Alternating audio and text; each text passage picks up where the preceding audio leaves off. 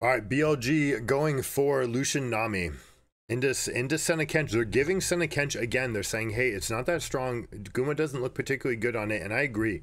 All right. I'm not actually scared of this pick. I don't think that we that you need to force it out of their hands because by letting them take it, you basically get whatever you want out of the draft. In this case, they get it. They're getting Lucian Nami. Expect to see lane swaps here. Try to get out of the situation. They don't want to go for trades level one. Tahm Kench is going to be the strongest out of all of them. Nami can get four man uh, ebb and flows in these in these positions, but you Senna can get a little bit too much chunk in return, right? And Senna's to be stronger than Nami over time. Uh, so expect them to lane swap and try to get Lucian Nami to level three and then to swap back. Uh, lane swaps also are particularly insanely strong against Twisted Fate. If there's one reason that they don't want to go for for a flex, it would be because Bin on his signature jacks would also be good into TF. But honestly, like looking at late game counters, there is no harder counter pick, right? The fact that you can completely ignore the thing that Twisted Fate needs to do, which is yellow card you. You say, nope, I shrug it off. That doesn't even hit me. And I can continue the fight on you whenever I want, especially with these on hit AD builds that are dealing less damage with the Q. Uh, it's, it's just not close. All right, so here we go. Lane swap. TF is going to get completely bullied here. Jax will have to play weak side for a bit. He's going to try to hide. Notice where he's hiding right now, guys. Look at this. See how he's hiding right behind that wall? He's trying to soak up and leech the experience without giving anything back. Now, I don't like what he's doing here. This extended trade is no good. Uh, if there's one thing he's trying to do, it's trying to draw this minion aggro. That minion aggroing means that his the red minions are going to fight in, come in a little bit faster, make it a little bit easier for him to do it. But it's at the cost of some amount of HP and Senna stacks. Uh, now, she only got one. Somehow in that iteration, only got one stack, which is less than expected and less than, than you need, honestly. Senna should have gotten more there. Now Zeus rotating over away from the 2v1, coming down. We're going to see Lee Sin go as well. This is a three camp into bot side clear. So we're going to have level three, potentially all three level three. This might be too early for them to be hitting three right now. Zeus leeching some of the experience, so they I don't think they will. And BLG uh, Bin realizing that he needs to step back. He's going to go all the way back over here, check into that bush, make them wonder what's going on, force them to use four people's resource to maybe get something. Yeah, they're going to get this plate. This is the the turret that doesn't have fortifications, so you are going to chew through it. But Lucian's going to do just fine on his own, pushing to this side. Now, is it going to be a Tahm Kench answering to top like it normally is? Bin does step out, but they're actually setting a trap for him uh, if he can bait any amount of extra time here, he does have access to his jump. The fact that he's baiting that time, good, but they're also just clearing the wave on this side of the turret, so no no big issue there. And uh, now they get to proxy farm. This is something that we haven't seen in adaptations from lane swaps. We haven't seen these 3v1 bot lanes proxying and especially killing waves in these two areas you can, right? Why not? This is something that top laners, if you guys are familiar with Alois NL, he is uh, the best top lane solo queue macro coach that he'll talk through all those advantages, why to proxy, when to proxy, and bot laners just haven't really picked it up.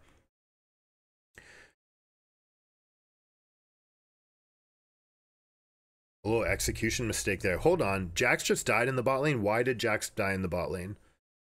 We just saw that play in the top. We're, we're wondering why did why did they lose the Maokai over there as well? So two deaths here for for what is is making me wonder what's going on. Taliyah coming over saying I can push through this wave. I can also potentially stop this recall, but may not have perfect vision. Uh, is hoping to push this wave out and try to crash it before you can get a farmer back into this lane. So let's look at this. You're supposed to take aggro. Maokai should take it and then uh, use his W over someone else. So who's taking the aggro? Right here? the red buff, the red buff, and the fact that no one else was hitting. Oh my goodness. That feels so bad, right? These guys are so good at planning this out, and to have no one dealing damage at that moment, normally that's the right call. That's what you want. Maokai even waiting till that tur shot's in the air before disjointing with the W, but reacquires it with red buff aggro because no one has picked it back up. That should have been Nami or Lucian able to take that up full health.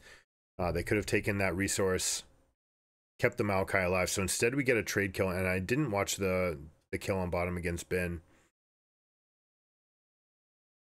So T1 setting up okay for themselves, but now you're going to start seeing Lucian and Nami rotated into the Senna Kench lane. This is where they are strongest. You're seeing Kircheis Shard being picked up by Lucian. This is the most aggressive laning item you can get.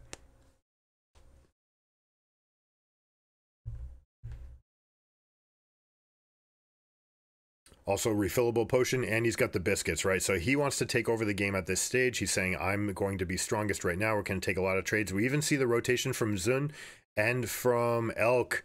All right flash into flash. W he moves him back. I like how they go for the knock up at the same time. Uh, that can be a little bit improved right? Both players thinking the same thing. I want to push you in this direction but no reason for Taliyah to just not wait for Maokai, right? you set up the whack-a-mole right here. Maokai throws you onto it and then the catapult springs you back. All right faker saying i can get something back but getting hit by a sapling all right this can be a kill back no it's on it's on shun so it's the minimum amount of damage against the maokai we get some chunk damage but elk survives with refillable and the biscuit going off just enough to keep them there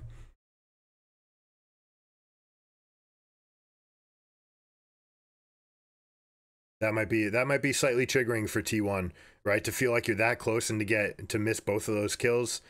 Uh, Faker Faker perhaps had that window to cast the ultimate into Maokai. Thought that the W and Q was going to be enough. There was no follow up damage. Then throwing the R and, and missing the kill on Lucian by that little as well. All right, here we go. Next dive. We are low health. Nice little stun up there from Nami. You're gonna have a double a double ebb and flow, but it's not going to be enough to survive that. Good job by T1. Now, Seno, how come you're not continuing to hit this turret? Why, why did we not hit that turret for another plate? I guess we'll find out in a moment.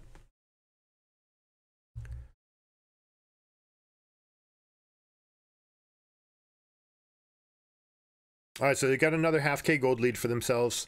Void Mites, though, Void Mites reign supreme. We're going to see if this is going to continue through this game.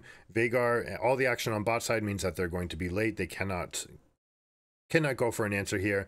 Also, the fact that you moved Lucian Nami, I love that they're going back and forth, right? Back and forth, back and forth. Now you have Lucian Nami taking plates, killing Void Mites. You naturally have the pressure in mid because enemy team just played the play in bot. You're threatening these by proxy, right?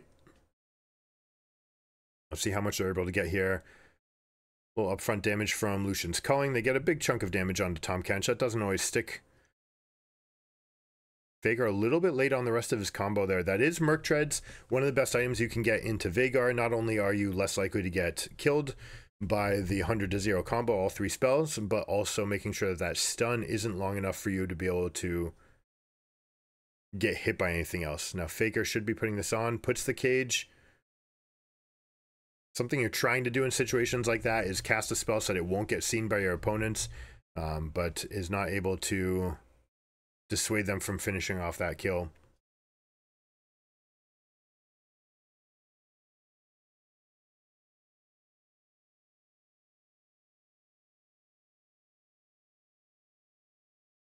Now, Tahm Kench level 6, so is Lucian. Lucian's going to be Feeling very good in trades against the Senna right here. Abs- absolutely goes for one. Senna is correctly hitting back, getting some more damage out, and the threat of Tahm Kench getting into the fight is obviously big. But with that Bami's Cinder being picked up, Tahm Kench can't really go under the turret to harass because it's too easy to pick up the turret aggro. So he ends up stepping back. An okay trade on both sides, a little bit to improve from each.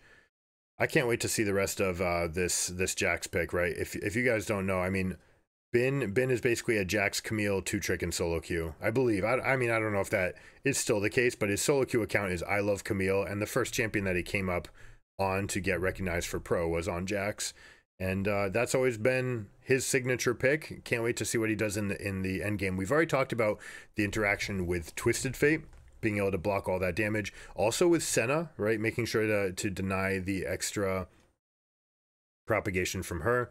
Hold on, a little chunk damage. Not enough in return. We've got the Lee trying to bait things out. Lee Veigar should be able to make some plays for themselves. Uh, you see the Lucid Boots being picked up by, by Veigar. This is to continue the stacking. The tier I don't like. I hope this is not Seraphs. I will be very disappointed if it's Seraphs. Old Seraphs that had cooldown reduction on it was fantastic for Veigar. Uh, you have seen in the past there have been some Veigars that are willing to go just here and then ignore it the rest of the way, but I just don't think you need to anymore. Right? Doran's Ring is strong enough; you can keep it through longer into the game. Uh, there is no like obvious great item for Lost Chapter upgrades for Veigar. You might say that Seraph's Embrace and the Shield is good enough, right? You just want the defensive stat. And that, you know, that would make sense. You're getting a decent amount of cooldown, but it comes at too much of an expense for for your tempo. You're not getting enough of anything. It's too much on the mana and not enough on anything else, in my opinion. That's why I don't like it first on champions like Ziggs. Uh, yeah, you wouldn't get it on Syndra, you know, so why would you get it on Veigars, is sort of my opinion on it. All right, plate going up. BLG has somehow taken the lead away from them here. Have you noticed? Senna only on 31 stacks, would like to be at about 40 right now. We're going to see Maokai getting strong. It shouldn't be strong into a trade on Lee Sin, but because of the chain CC potential and the upfront damage from the Lucian, right? You don't want to have Maokai throwing them into a bubble. Plant, water, and light combo. Too strong. Too strong.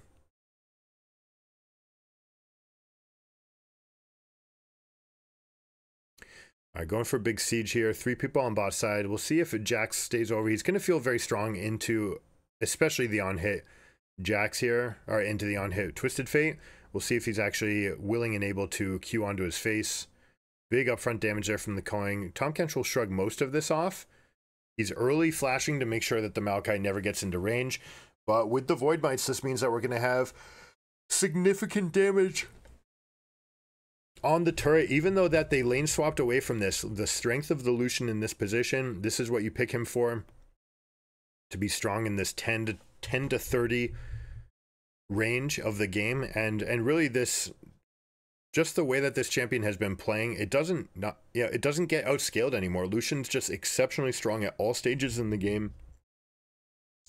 As fights continue on, that's when you can use his new passive to get those extra values on the on hit. Um, but you're going to see a lot of this early static shiv into rapid fire and just using the extra like the extra on hit proc damage from these from these energized items. And then you might see something like Navori later. Sometimes into a multiple tank team you'll go into Infinity Edge but I prefer the Navori blade uh, quick blades build by a lot because that results in more passive shots and more passive shots you're going to get more ability damage etc etc etc All right, ult from Taliyah moving into the territory of Senna forces the heal. They're going to continue the tempo. They're up a full K. We'll see if they can get another plate down. They've already got the bottom turret, and they should be able to make a proactive move. It looks like they're going to try to give the Twisted Fate, and they do have a window for it. Zeus does not realize until too late he's going to be in trouble here. There's no good way out except with his ultimate. He ults to safety. Uh, this is you need to be very very quick if you're if you're trying to jump on a Twisted Fate like a Ryze. He's able to get out for himself, a little bit longer range than the Ryze. And they don't really show much for themselves. They've got one lingering ward in the eastern quadrant, and they gave up their opportunity to get extra plates for that ult cooldown on a champion that may not have been looking to use it anyways. So it's um I feel like they could have done more with that. They could have done more with that. Now, one of the things that you're going to watch as a coach you're looking for mindsets. You're looking for strong for your team's mental. You're looking at mannerisms. Is this the player that I expect it to be, or do they feel like they're not themselves? How am I preparing for game four? It's very exciting to try to be a fan and to watch this game as a fan, but your job is to coach, right? And if you're the coach, you have a very specific task of how do I win game four? I can't change what's going to happen in game three. Once you're back in that room, there's nothing you can do to change the result of this game. So you need to start thinking about am I down 1 2? What side am I going to take and, and why? Or am I up 2 1? What do I expect them to do for a game plan and how do I counter it? Right? And in this case, where you might be feeling like you're slightly ahead, you can start thinking, buy yourself some extra time and say, all right, how do I get the most out of this time. I think we're winning. How do I prepare? And if I spend more time thinking about what it's like to be two and one and it becomes two and one, then I might have an advantage going into the next game. And certainly once you're on match point, once you've got two two games under your belt, only think about loss, right? It serves you no good to think about what a win is like. You've got all week to think about what a win will be like. Nice use of the Herald, by the way. They're to crash it here to keep it in mid lane. Uh, use the Lucian Prio to kind of force them to stay in this lane for a little bit longer. But I actually would have liked to see the Herald brought all the way up to top lane. Try to get a little bit more. Try to force them to move, then just go for a full recall and then see if you can step up. So once you're down two games, then it's a different story, right? If you're down two games, you have to assume that you've that you're going to win.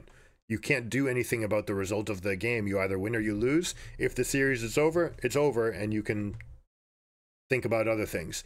But if you continue the series, you want to be the most ready for the series as possible, right? It should be very natural to think that way.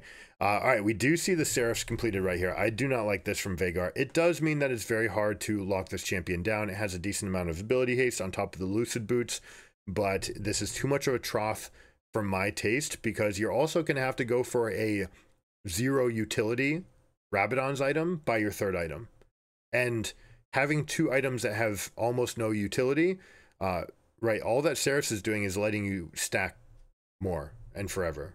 But it's not actually contributing to the rest of the game. And if you've got too many champions that are in that mindset, Senna's might be stuck in a similar spot, then you're sort of just ceding too much ground. And that might have been the idea in the draft saying, "Hey, we've got Twisted Fate, we've that can that will do fine in the middle game. We've got Veigar and Senna that have uh, very strong scaling."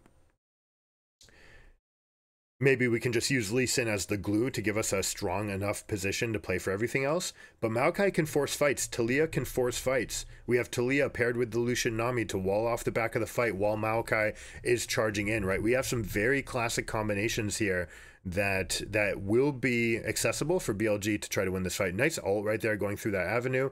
Do they get any amount of chunks here? That culling maybe could have been a little bit better. Oh, the flash backwards back gets hit.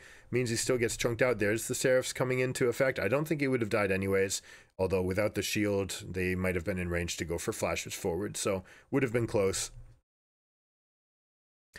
But now with that, with those resources gone, we see teleport heal from Veigar using the summoner spellbook, 172 stacks.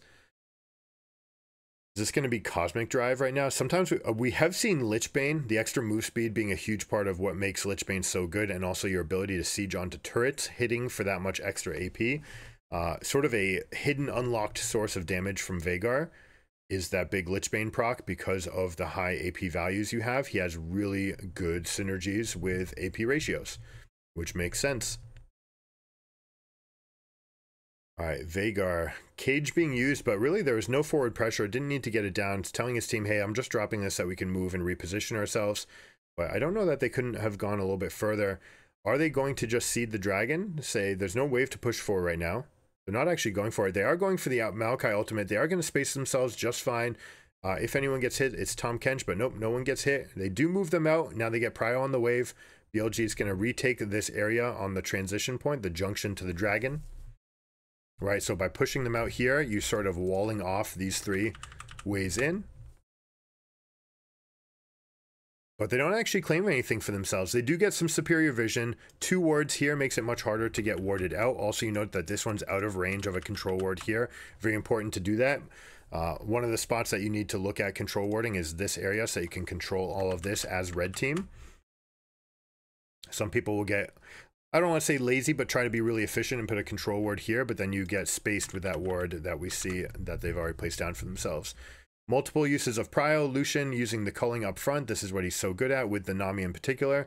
Uh, ultimate force being forced out because the W did connect, but they do grab the dragon. And this is all just Lucian zoning, making that possible. Taliyah wall could be a threat in response. Twisted Fate just dutifully pushing. Jax is going to go for this fight. You see this teleport? He's got the spot behind him. That is on a control ward, so he will see him. A little bit early there from Bin using the E early. Normally you want to wait to pop that right? You want to hold up the E, or you only want to cast it as soon as the Twisted Fate goes into that animation. Perhaps getting nervous that he was so close to him and he didn't want to get stunned for for no good. But because he did it that early, it means that he is Twisted Fate's able to hold on to the yellow card, force the flash on the backside, and now we see some upfront chunk damage being used, and uh, and they zoned them out. So okay from T1. They maybe could have gotten more from there. We'll see if we get a replay from that. You did have a big lead. You saw Bin being scared uh, in that position, forcing him to recall and teleport back in. So check this out. Normally you want to wait. The yellow card goes in. You don't put the E on yet. Right? That E is not doing any any value for you. It hasn't amplified itself. It hasn't gained any of the stats from being hit twice. And there's nothing left there. So you could have gotten more, but with your flash down and getting chunked, that was a moment where T1 could have gotten the maximum. It looks like they got the minimum, honestly. Minimum being that they just get a better reset and they get some decent timing.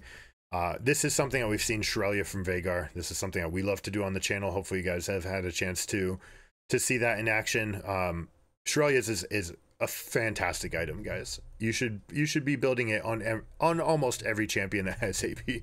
Like the extra movement, the fact that it's so darn cheap, the fact that it speeds your entire your team up when it's time, when it's go time, you get it in, and it makes it so easy to just naturally build into a third item and get that third item a little bit sooner than your opponents because you built an item that costs 800 gold less than their second item.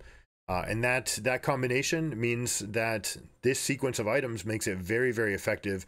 I expect that we're going to see Rabadon's next from Veigar. Uh, usually, it's a mistake to get anything else because by that point, with all the stacks going up, you're looking at approaching 400 stacks. And when you do, you want to turn that 700 AP into 1000 AP. All right, Maokai finds the angle. This is a much better ultimate. Taliyah, they do it. They they weave through the lattice. The perfect setup on the fight, and they get it. They get it for themselves. Good job from BLG to find that situation.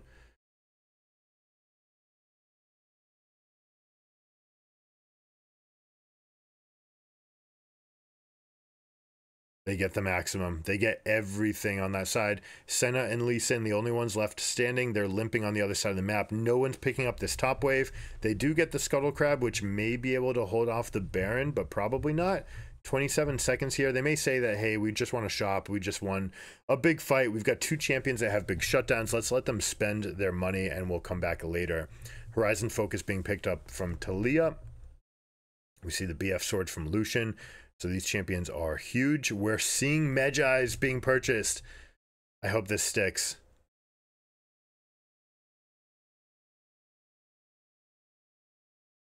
Why? Hmm. I'm surprised that we have a Q here from Twisted Fate. Norm. Often you'll see five points in E and W with nothing else, right? You just don't need points in the Q. It doesn't do anything for you. It does have the new AD ratios, and you're going to be fine with it. It's not bad, but like the value in the E is stronger.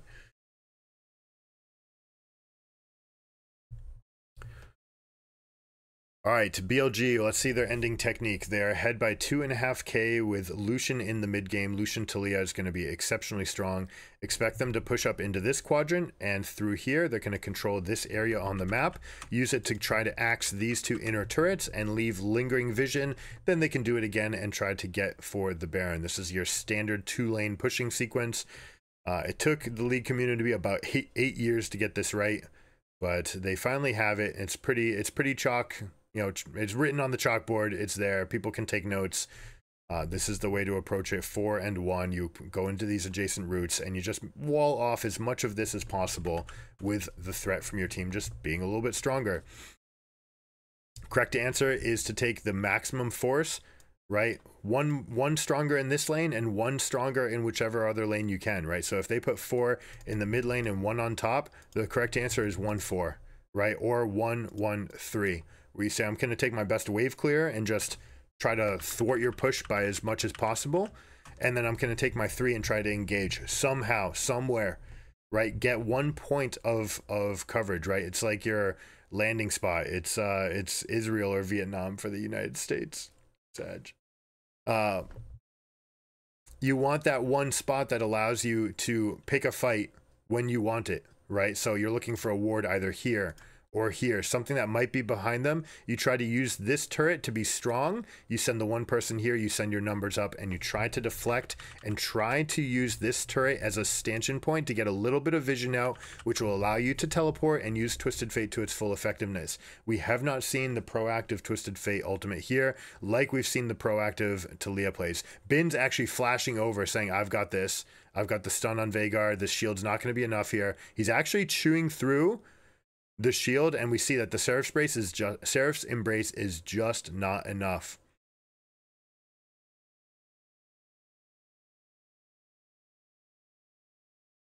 Now Veigar dead. Veigar is their main zoning tool.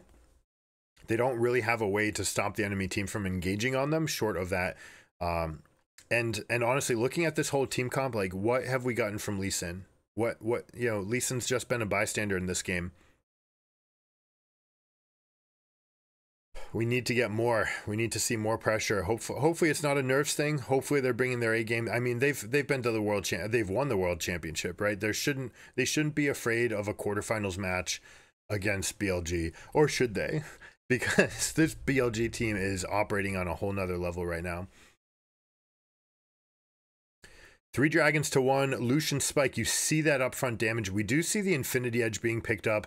This is a testament to Tahm Kench being on the enemy team saying, hey, like, I'm going to have to chew through you. Jax finds the best angle possible. And that's what we see from these champions, these players who have supreme champion knowledge. It's not just about the mechanics, guys. It's about the knowledge of exactly which wards you can teleport. Where can I flash? Can I flash this wall and continue this kill? How likely is my team to continue? Uh, knowing those ins and outs and knowing the outcome of every possible sequence is where what's going to make you strongest. This is a red buff. This is a red buff. Uh, Jax, by the way, hunting, hunting Twisted Fate.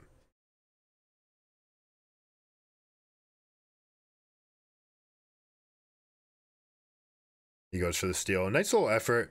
Oner trying to get in with the Senna shield going off. The Senna cast time uh, being the big variable there it can be difficult. It also doesn't hit the Baron itself. So ideal situation is you get to dash in as the Lee Sin while the shield is resolving, kick the jungler through the rest of the team or as many other members as possible, and try to use those knockups as a window to try to get a smite window for yourself with the Q to execute value. But it's not going to be enough. Valiant effort, and you know, it was mostly well coordinated. Twisted Fate Ultimate being used to get them as much information, but it doesn't go it doesn't work for them, which means that they're just going to get chewed through in their own base here. Look at this damage from Elk. Popping forward. Pop, pop. Using the flash to dodge the Q from, from Lucian. We see the power of this champion. He is going to bite the dust here. But the job is done. Multiple kills in. We see the spikes finally come in. You see that Stormrazor and the Black Cleaver being purchased but it's going to be too little too late. They're down almost 10k now. The Jax is stacked. We'll see if we go for Spear of Shojin next. Get those extra cooldowns on the E, the extra damage on the rest of the combos. Veigar's hunting.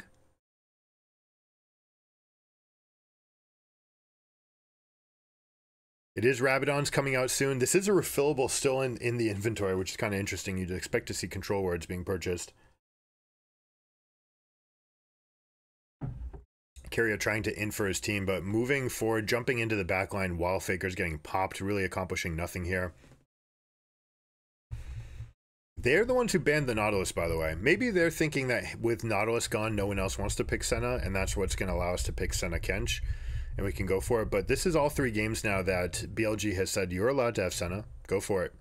And honestly, why wouldn't they? Guma, Guma's playing like a challenger level Senna one trick. It's like it's fine, it's good, but it but it's not doing all the things that it needs to do to to carry through these games right? You're not seeing that expression the way that we're seeing it on Lucian and on Jax, on Maokai, on Taliyah. all these champions, like literally all five champions on the side of BLG, you're seeing them played to their limit. And I just don't see that from Gumayusi Senna.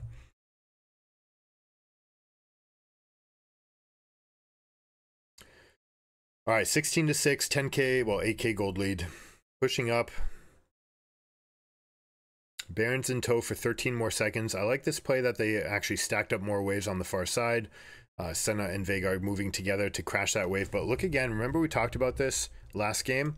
When you leave a turret push like this, and now it's just going to stack up on the enemy team's side. They're stronger than you. Their minion wave is going to be a little bit stronger. It's going to be mostly even, and it's going to uh, land right around here. Then they're going to start stacking again. The next wave is going to come up as well, and it's going to continue pushing. And that wave will actually start stacking up and be a game ending threat that someone on your team is going to have to answer. If it's intentional and you can buy enough time for someone on your team to pick it up, then it'll be fine. But in this case, it's, it's not even going to matter. That wave is going to be erroneous. The fight gets taken in the mid. I'll, I'll go back and watch this because, you know, we're talking about other things. Looking at the setup here, Taliyah wall the dragon. You really have no business fighting for anything. So Lee Sin actually coming forward on a Q2, stepping forward ints early in the fight. The Taliyah walls off Zeus as well. Has no flash and no ghost. So we're able to get the maximum here from this. Tahm Kench does pick him up over the wall. That's something you can do. But Faker in a tough spot again. Team call, you know, mixed mixed calls, right? You see people splitting off in two different directions. And again, you see Guma not contributing to the fight. And yes, you're losing. There's not much you can do. You're down by a tremendous amount. It's not that I expect much from you, but to do nothing is less than what I expect, right? And we want to get something in these fights. And we saw that last time around, we just didn't get enough in these fights. In game one, potentially decided by the fact that that Senna didn't hit a couple of times, and you got the you got the bailout and the reset, and that's the difference between winning and losing sometimes it's not going to be the difference right here, but I need to see that level where you're pushing that champion to the limit at the hardest moment. All right, game four, here we go.